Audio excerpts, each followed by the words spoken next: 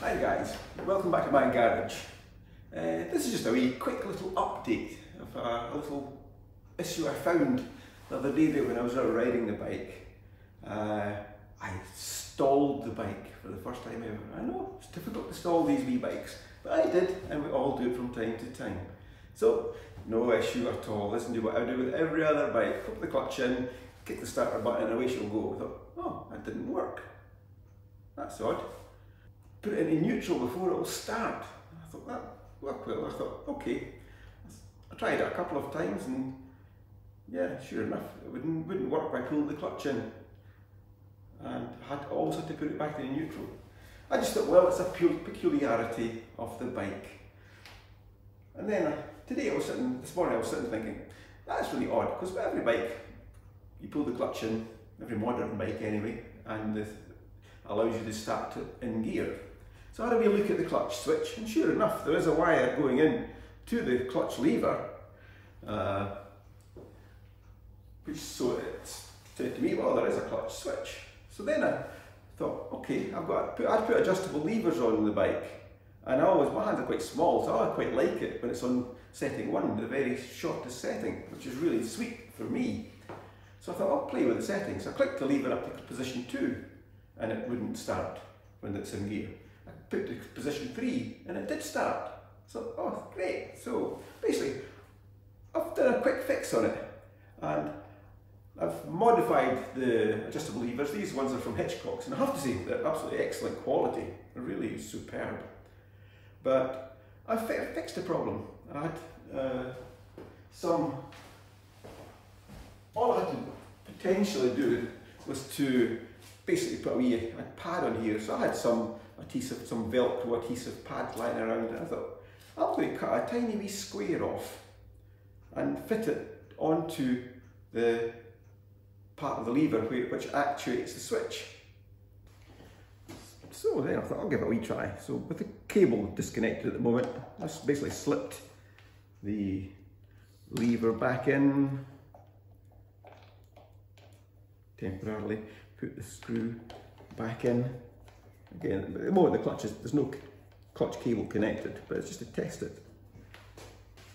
And when you move the lever, now on position one, you can hear the clutch, the clutch switch switching. If I put it up to position six, seems to be just a slight bit of resistance in there. Position five,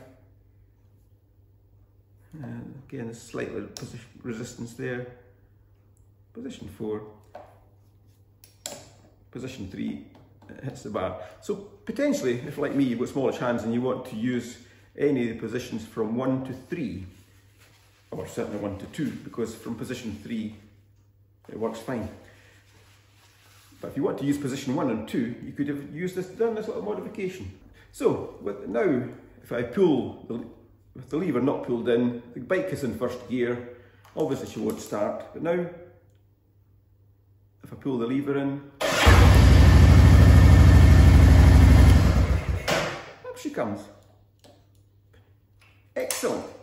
So she's now back to being like a normal bike. So again, this may be useful to you if you bought the Hitchcock's levers and you come upon the same issue.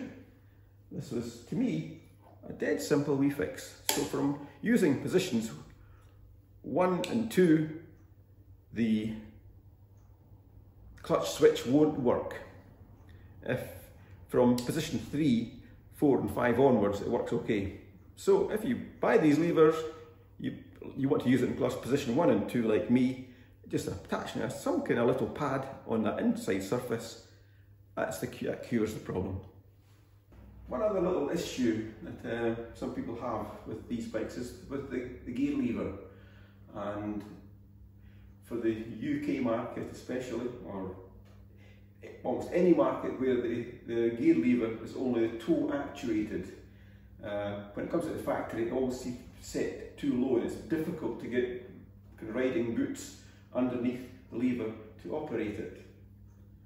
Um, on this one, I've actually put the, a heel and toe lever on, which I got from India on eBay. And I set it initially with one notch up, is the way it's been kind of recommended to do with the, the gear lever that came with the bike. And it's, work, it's been working fine. It's been great for downshifts and but I've been tending to use just move my foot back with my toe back and just hit the, the heel lever to operate that side of it. But this morning I've actually positioned the lever back to the standard position that it comes out of the factory, uh, which wouldn't work well with the, the purely the single toe lever, but I think it's going to work beautifully on this because at the end of the day it was designed for more of the Indian market. It was really designed to use the heel and toe changer. Um, so yeah, I think it's really sweet uh, using the, the heel and toe changer. I'll show you what I mean. This is it fitted with the heel and toe changer set in its factory setting.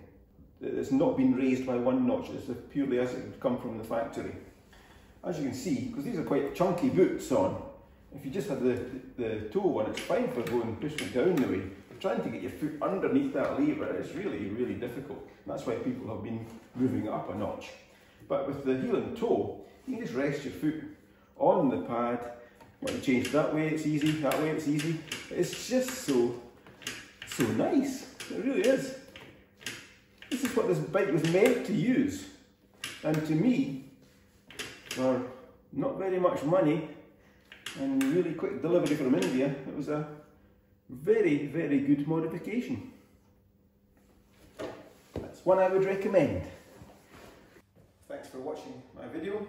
I hope you found my wee modification or my wee update on the Hitchcock's adjustable levers and the heel and toe gear change uh, modifications. I hope you found them useful. If you like what I'm doing on the channel, please hit the, the subscribe button, hit the bell notification icon and you'll be updated with any future videos.